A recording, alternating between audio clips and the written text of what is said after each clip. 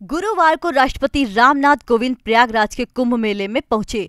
राष्ट्रपति सुबह नौ बज के पैंतीस मिनट पर बहरौली एयरपोर्ट पहुँचे, जहाँ राज्यपाल राम नाईक और मुख्यमंत्री योगी आदित्यनाथ ने उनका स्वागत किया।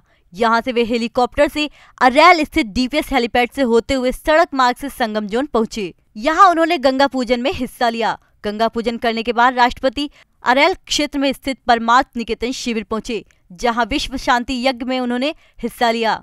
संतों से मुलाकात के बाद महामहिम ने पीलो पानी और टॉयलेट पार्क का भी उद्घाटन किया। राष्ट्रपति ने कुंभ में बने सेल्फी पॉइंट पर सेल्फी भी ली। राष्ट्रपति को दौरे को लेकर सुरक्षा के पुख्ता इंतज़ाम किए गए थे। बताया जा रहा है कि महामहिम का यह पहला प्रयागराज दौरा है। इसके बाद अरैल परमात निकेतन से वे दिल्ली के लिए रवाना हो जाएँगे।